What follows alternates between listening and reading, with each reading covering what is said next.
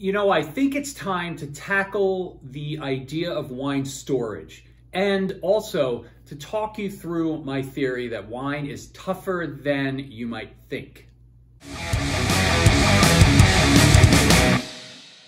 Welcome back to Drinking It In. I am your host, Chris Casara. We are here to help you know more and drink better. And uh, today we're talking about wine storage and um, why I think it's um, I guess often misguided.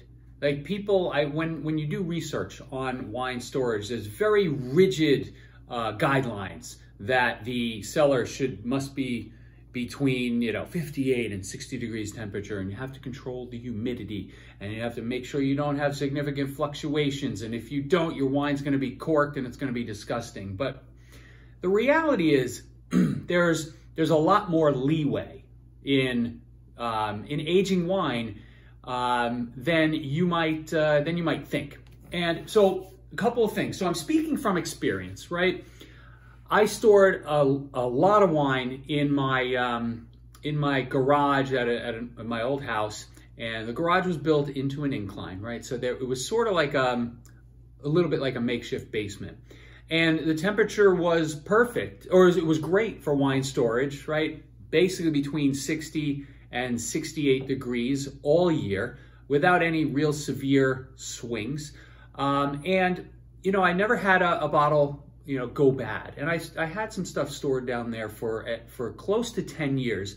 So it got me thinking, you know, around the, um, the idea of storing wine in, you know, shall we say, less than ideal conditions. And, you know, I'm no longer um, concerned about that right? And uh, so let's actually, let's do a little, let's do a little tour of my home right now because we are, because um, I do not have ideal storage in this place. Here's one rack, okay? This is, uh, you know, these stacked wine racks. These wines are wines that are um, ready to drink now. And as you can see, it's right by the window. And um, while the sun doesn't come in um, directly on a wine. It comes, you know, it will come in like that in the afternoon. You know, the temperature in here could get a little, um, could be a little questionable if you were thinking of aging, you know, really important wines. Now let's go over here to um, the wine that it, the wine rack that's a little closer to the kitchen, um, further away from the from the window. Um, here I've got some wines that have been aged properly for a little while, and they're ones that I'm planning to drink soon, as well as, uh, you know, these guys. You got some Bordeaux's and some 2009 um, Cabernets. And the reality is that the temperature in this room will be between 68 and 73 degrees all year round. Um, it doesn't really va it doesn't really vary too much, but it is um, but it's safe enough that these wines are not going to go bad if they sit here for a year.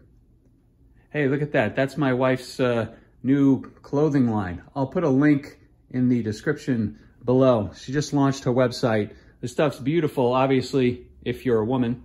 Um, you know, men's, men's lines next. All right, we're going upstairs because my, because upstairs, is where I have my, most of my wine that I'm storing for a longer time. Say hi to Mr. Cooper. And it's in this little uh, cabinet, right?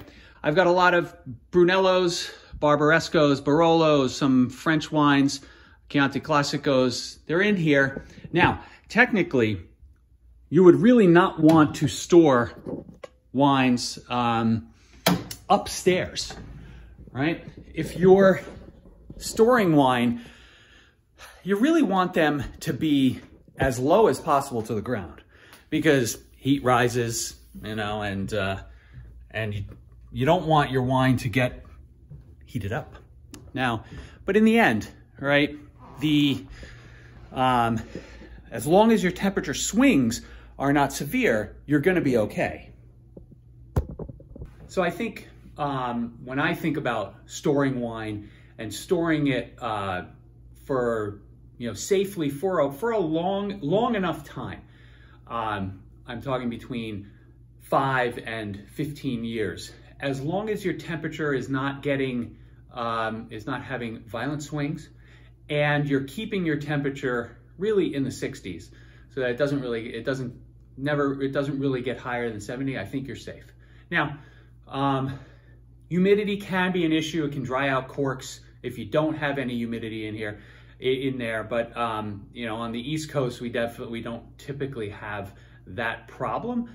Um, naturally, if you're buying like trophy wines and you're investing in wine, you're gonna want a real wine cellar. You're gonna want um, you know a uh, a wine refrigerator that is really controlling the temperature um, in the hopes that you know you're gonna maybe resell for a profit down the line.